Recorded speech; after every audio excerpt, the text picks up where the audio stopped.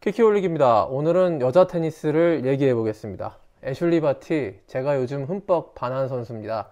왜 바티가 세리나 윌리엄스의 뒤를 잇는 테니스 여제인가를 분석해 보고요.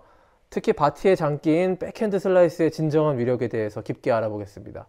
또 호주 오픈 남자 단식 진짜 꿀잼 경기였던 메드베데프와 오제 알리아심의 8강전 리뷰도 해보겠습니다. 영상 뒷부분까지 시청 부탁드리겠습니다. 자, 애슐리 바티 호주 국적의 세계 랭킹 1위 이번 호주 오픈 여자 단식의 압도적인 우승 후보 1순위입니다. 당초 defending 챔피언인 나오미 오사카와 16강에서 잘못된 만남이 예정되어 있었지만 오사카가 조기 탈락하게 되면서 바티는 4강까지 무실 세트 퍼펙트로 올라왔습니다. 특히 8강전 제시카 페굴라와의 경기에서는 2세트 bagel score를 낼 정도로 압도적이었습니다. 자, 이번 대회 바티 서브가 특히 인상적인데요.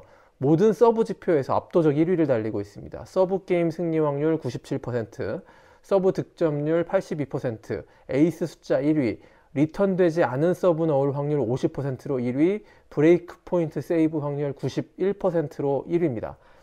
애슐리 바티는 정말 이변이 없는 한 호주 오픈에서 우승할 가능성이 정말 높아 보입니다. 이미 2019년 프랑스 오픈, 2021년 윔블던을 우승한 바티는 호주 오픈과 US 오픈을 우승하면 커리어 그랜드슬램을 달성할 수 있는데요. 저는 당연히 달성할 거라고 봅니다. 이유는 바티의 테크닉이 역대급이기 때문입니다.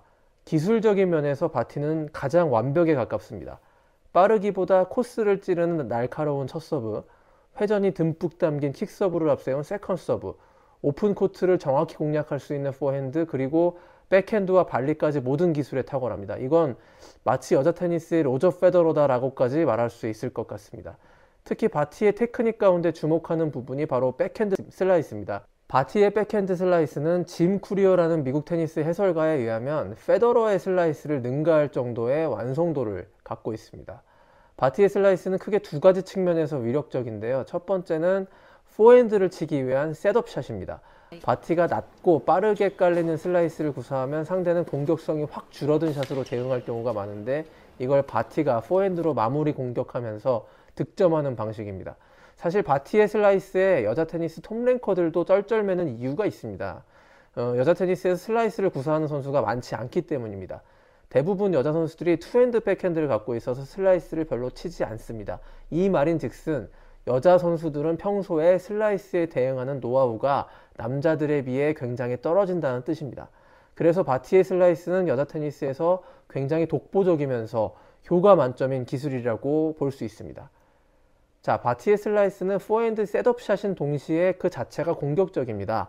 바티의 슬라이스 장점은 단순히 크로스 방향으로 깊고 낮게 깔리는 공만 주는 게 아니고요. 방향을 open court 쪽으로 설정해 버려서 상대가 뛰면서 수비하게끔 만듭니다. 이게 정말 바티 슬라이스의 가장 큰 위력이라고 저는 생각합니다. 바티의 슬라이스는 테크닉적으로도 완벽한데요. 다른 선수들보다 더 라켓 헤드를 머리 위까지 높게 들어올린 다음에 오른팔을 쭉 편 상태에서 정확하게 타격합니다. 그래서 더 많은 역회전을 가미할 수 있게 되는 것이고요. 또 반대편 왼팔을 뒷방향으로 쭉 내밀어서 상체가 오픈되지 않고 닫혀있게 하는 정확한 폼을 만듭니다.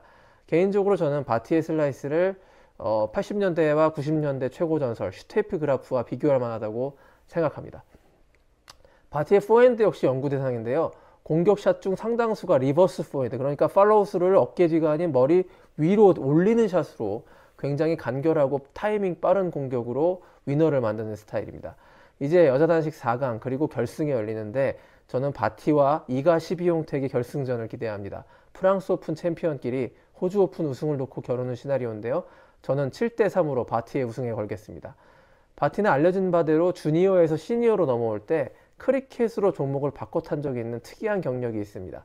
워낙 라켓으로 공을 맞히는데 재능이 뛰어나 크리켓에서도 두각을 나타냈다고 하죠.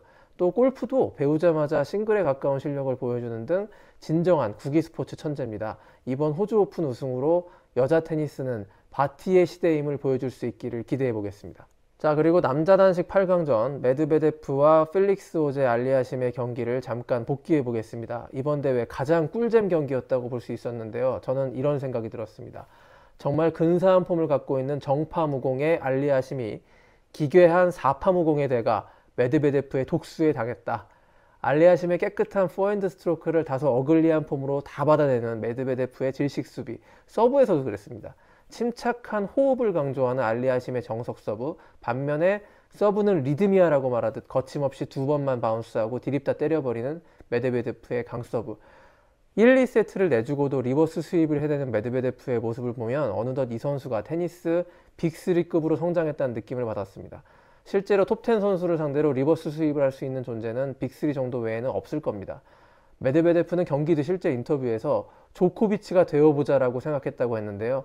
메드베데프의 이날 경기 모습은 조코비치를 연상케 할 정도였습니다. 최상의 컨디션은 분명 아니지만 어떻게든 이기는 방법을 발견해서 승리를 쟁취하는 모습, 제2의 조코비치 타이틀은 메드베데프가 가져간 것 같습니다. 알리아심도 정말 많이 늘었다는 생각을 합니다. 특히 메드베데프의 강서브를 계속 return in play 시키는 걸 보고 저는 알리아심 맞아? 라고 생각했습니다.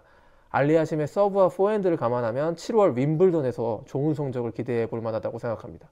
자, 호주 오픈 이제 4강 남았는데요. 다음 영상은 남자 단식 4강 프리뷰 만들어 보겠습니다. 고맙습니다.